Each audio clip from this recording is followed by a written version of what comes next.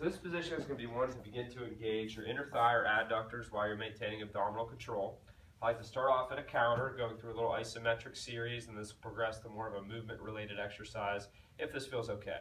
So first thing you want to look at is that as I press down into this counter, it's going to help me to flatten my lower back and engage my stomach.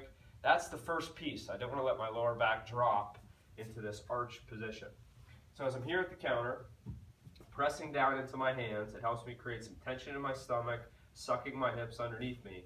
And then I'm just going to lightly press the inside of my feet towards each other. I want to press through the whole inside of my foot, from my big toe all the way to my heel.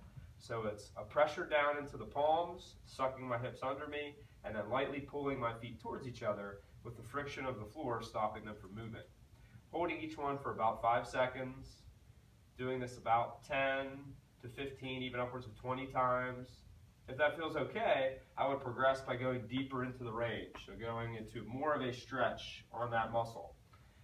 Now, usually what I have people do is start off at a short range because you'll be surprised at how much this can make you sore in using these muscle groups that you don't typically use on a regular basis. So I would start off in a range that's pretty comfortable. The next time I go to this, I can always come to more of a stretch position which will probably accomplish more, but also have a little bit more threat of making me sore if I have a problem in this area. So ideally you go as wide as you can, right? Creating that stomach tension first and pulling inward. And then as this feels okay, this will then progress to a more challenging movement where we'll actually add some motion to the foot while you're creating the same tension in the same areas.